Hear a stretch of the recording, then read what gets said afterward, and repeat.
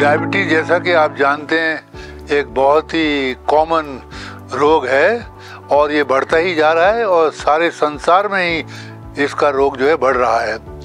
और आपको ये भी मालूम ही है कि डायबिटीज़ जो बढ़ रही है, उसके मेन कारण जो हैं, एक तो ओवरवेट या ओबेसिटी और दूसरा है हमारे लाइफस्टाइल फैक्टर जो हैं, वो डिफेक्टिव हो गए हैं अर्बनाइजेशन हो रहा है।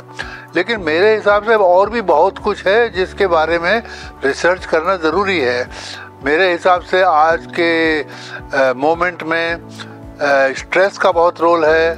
बड़े बड़े शहरों में पॉल्यूशन का रोल है और पॉल्यूशन से बाहर का हवा में ही नहीं, बल्कि इंडोर पॉल्यूशन भी है। घरों के अंदर जो है, वो डस्ट होती है वेंटिलेशन नहीं होता है। इन सब का रोल मेरे ख्याल में इनके बारे में रिसर्च होनी चाहिए।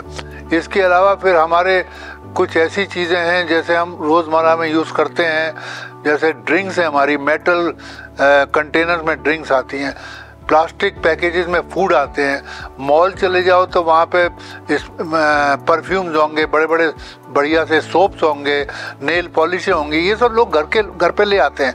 लेकिन ये वो भूल जाते हैं कि इन सब चीज़ों में बनते समय, इनके स्टोरेज के समय और इनके ट्रांसपोर्ट के समय इनमें कुछ ऐसे सब्सटेंस मिक्स होते हैं जो हॉर्मोन्स को डिसरप्ट कर देते हैं और इनका भी रोल जो है उस पर भी रिसर्च होनी चाहिए।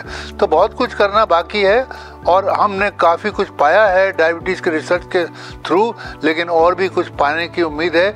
और मेरे ख्याल में कुछ सालों में कोई ना कोई इंटेलिजेंट और डिलीजेंट माइंड ऐसा आएगा जो डायबिटीज़ के और भी पहलुओं को अनरेबल कर देगा। बहुत बहुत धन्यवाद।